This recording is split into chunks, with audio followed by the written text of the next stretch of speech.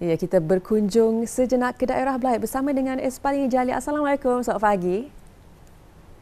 Waalaikumsalam warahmatullahi wabarakatuh. Selamat pagi Sarinah dan Hani. Apa khabar pada pagi ini? Hmm, Alhamdulillah. Alhamdulillah. Ya? Kami ceria dan uh, begitu gembira sekali dapat bersua bersama dengan Espalini di hari Jumaat. Walaupun merusi lintas langsung, bagaimana pula dengan Espalini dan juga kru-kru yang berada di daerah Belait? Alhamdulillah kami semuanya dalam keadaan sihat ya. Syukur hmm. Alhamdulillah. Jadi uh, meninjau juga keadaan cuaca di sekitar bandara Seri Begawan ataupun daerah Bunda Muara secara dasarnya pada malam semalam kebanyakan kawasan hujan mm-hmm. dan Alhamdulillah pada pagi ini kita melihat keadaan cuaca itu baik-baik saja. Bagaimana pula uh, update terkini uh, berkenaan dengan cuaca dari daerah Belait? Uh, kalau pada pagi ini alhamdulillah uh, walaupun keadaannya mendung walau bagaimanapun apa yang diharapkan ya uh, bagi mereka yang merancang uh, semoga apapun jua perancangan akan berjalan dengan lancar ya. Amin amin ya rabbal alamin. Ah baik mengenai dengan topik perbualan kita ni cara untuk memotivasikan anak-anak ataupun adik-adik ketani yang masa ini musim peperiksaan ah mengharungi cabaran musim peperiksaan di hujung tahun ini. Mungkin Ismail ini boleh mengongsikan antara cara untuk memotivasikan ah, adik-adik ataupun anak-anak ketani. Uh, bagi saya sendiri, Hani dan Sarina seperti telah pun uh, Hani kongsikan sebentar tadi uh, akan memberikan sesuatu yang mereka suka ataupun uh, membuat uh, perkara ataupun aktiviti-aktiviti yang uh, boleh memberikan mereka motivasi ya uh, untuk berusaha lebih uh, semangat lagi dalam menjawab uh, soalan-soalan peperiksaan ya. Hmm, tepat. Uh, mungkin uh, es, kalau Espali ini uh, nanti uh, di bawah uh, kalau dapat sekian-sekian uh, bawa berjalan. Hmm. Uh, mungkin ber-KNK di yeah, negara Belanda Darussalam. Uh, mungkinlah uh, ke Juru Dompak yeah. mungkin. Mungkin atau antara destinasi yang memang orang menjadi uh, pilihan hati kanak-kanak ah. Uh, pastinya. Baik, uh, yeah. untuk bahan pada hari ini di pagi hari Jumaat ini uh, kita akan terus serahkan pada Espali ini untuk bersama penonton. Silakan. Baik, terima kasih rakan setegas kita, Sarinah dan Hani. Bismillahirrahmanirrahim. Assalamualaikum warahmatullahi wabarakatuh. Selamat pagi, salam sejahtera dan salam Jumaat. Alhamdulillah ada kita bersua kembali ya menerusi rampai pagi di hari Jumaat pengulus segala uh, hari dan semoga apapun jua perancangan yang kita rancang akan berjalan dengan lancar. Semoga kita semua sentiasa dalam perlindungan Allah Subhanahu Wa Taala walau di mana saja berada. Dari daerah Belait Auda, saya kongsikan dulu beberapa acara semasa yang akan berlangsung di sekitar daerah Belait di mana program kesihatan warga emas akan diadakan pada esok Sabtu 21 hari bulan Oktober mengenai keresahan yakni uri di kalangan warga emas yang akan diadakan bermula pada jam 9 pagi di Perpustakaan Dewan Bahasa dan Pustaka Kuala Belait ya, Kampung Pandan Kuala Belait sebetulnya. Sementara itu, Auda uh, Majlis Pengundian dan Pemilihan bagi mengisikan jawatan Ketua Kampung Daerah Belait di mana jawatan Ketua Kampung Perumahan Negara Penaga Kawasan B dan Ketua Kampung Perumahan Negara Penaga Kawasan C Mukim Seria akan diadakan pada hari Ahad ini 22 hari bulan Oktober bermula pada jam 9 sehingga 11.30 pagi di Dewan Serbaguna Sekolah Rendah Penaga Mukim Seria. Itu dia ada beberapa acara semasa yang akan berlangsung di sekitar daerah Blight. Seterusnya kita akan beralih untuk mengikuti bahan visual yang telah pun disediakan untuk edisi hari ini. Silakan.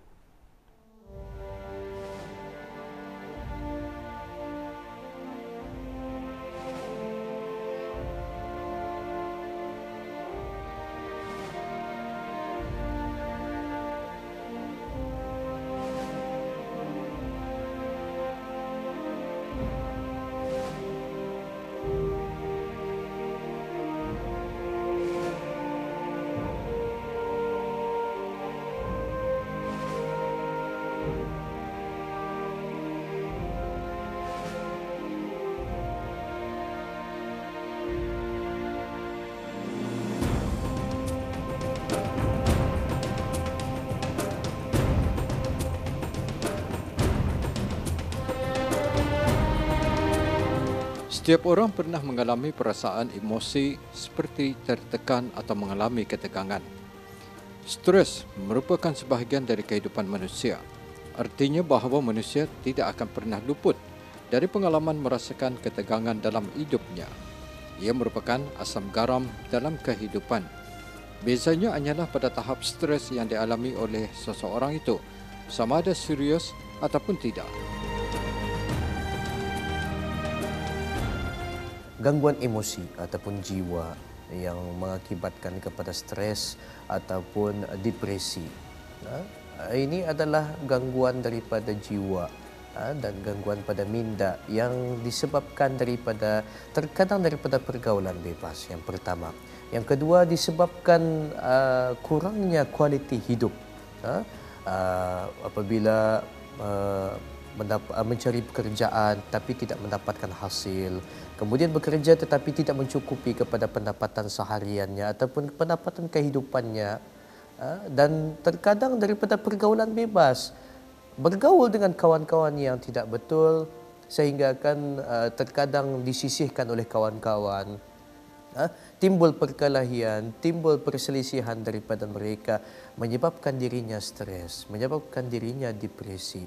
Dengan gangguan-gangguan inilah membuatkan mereka ini akan terganggu jiwanya terganggu pada emosinya. Yang menyebabkan mereka ini mengalami yang dipanggilnya sebagai stres ataupun depresi. Dan ini uh, angkanya tinggi uh, di dalam uh, rekod medikal ataupun rekod hospital. Banyak orang yang mengalami gangguan emosi sekarang ini tidak hanya berlaku kepada orang tua tetapi juga berlaku kepada anak-anak muda sekarang ini Agama Islam mengajar kita untuk mengendalikan emosi dengan cara yang sihat dan bermanfaat dengan mengamalkan ajaran-ajaran yang terkandung di dalam Al-Quran dan Sunnah Rasulullah Sallallahu Alaihi Wasallam. Di samping berdoa, berusaha dan bertawakal kepada Allah, orang yang beriman berasa yakin bahawa setiap ujian atau cabaran yang dihadapi itu mempunyai ikmah yang tersurat dan tersirat. Salah satu daripada uh, ubat untuk menenangkan jiwa itu adalah bersolat. Yang kedua dengan bacaan Al-Quran. Dengan bacaan Al-Quran juga kita dapat uh, mengingati kepada Allah Subhanahu Wa Taala antaranya yang boleh menenangkan jiwa, menenangkan hati seseorang itu yang dengan gangguan emosinya terkadang dengan alunan Al-Quran sahaja pun telah membuatnya luluh, hatinya luluh, tenang rasanya.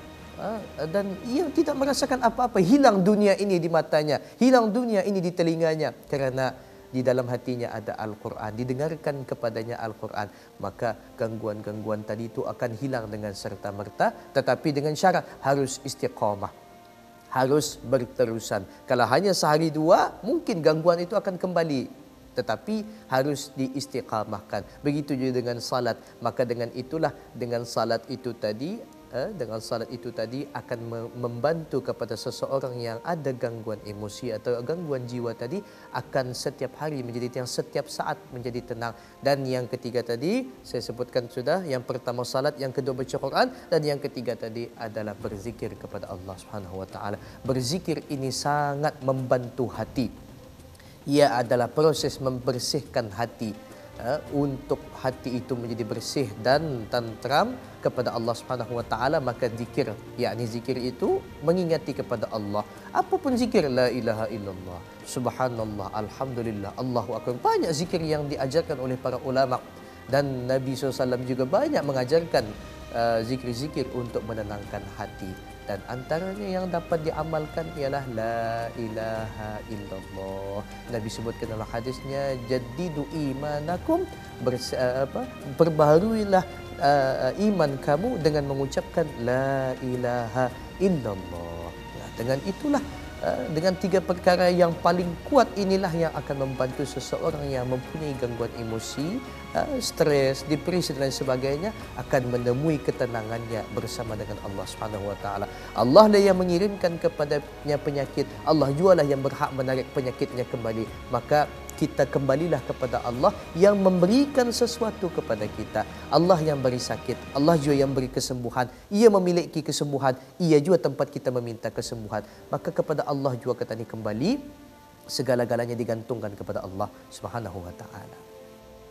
Dalam perspektif Islam, pengendalian emosi memberi pengaruh besar terhadap kesejahteraan dan kestabilan jiwa. Oleh itu pengurusan dan pengandalian emosi sangat penting dalam menjaga kesihatan emosi dan memupuk perkembangan diri. Sentiasa mengingati Allah Subhanahu wa taala dan syariatnya dalam setiap jawapan yang kita fikirkan. Ini akan mewujudkan rasa tentram apabila keputusan yang dicapai hasil dari menolak diri seiring dengan aturan Allah Subhanahu wa taala. Allah Subhanahu wa taala berfirman dalam Al-Quran, "Ala bi dzikrillah tatma'innal qulub." Allah sebutkan dengan hanya menyebut nama Allah atau mengingati Allah hati itu akan menjadi tenang. Allah telah sebutkan dalam Quran bahawa dengan hanya mengingat pada Allah Subhanahu wa taala hati akan tenang. Hanya dengan mengingati kepada Allah Subhanahu wa taala hati akan menjadi tenteram, sejahtera, aman, sentosa. Nah, maka daripada segi perspektif Islam ataupun daripada pandangan sudut pandang Islam, bagaimana mengatasi kepada gangguan emosi ataupun jiwa ini adalah yang pertama dihamparkan sejadah pada tempat salatnya. Dan sembahyanglah ia dengan dua rakaat. Sembahyang hajat sembahyang taubat apapun sembahyangnya. Ha? dan seterusnya bermunajat kepada Allah meminta bantuan akan ketenangan. Allah itu sangat rindu kepada hambanya untuk berdoa kepada kepadanya. Ya Allah Taala itu sangat uh, menunggu-nunggu di manakah hambaku pada malam ini? Di manakah hambaku saat ini? Adakah ia ingin berdoa padaku? Apa permintaannya? Ud'uni astajib lakum kata Allah. Berdoalah kalian nescaya aku kabulkan kata Allah. Nah, dari sana maknanya Allah itu menunggu hamba-hambanya ini untuk dihamparkan sejadahnya, diletakkan dahinya untuk bersujud kepada Allah untuk mencari akan kecintaan Allah, mencari akan kerinduan Allah itu. Nah, maka dari sanalah kata Allah SWT, ala bidzikrillahi tatma'innal qulub. yakni uh, dengan hanya menyebut nama Allah hati akan menjadi tenang.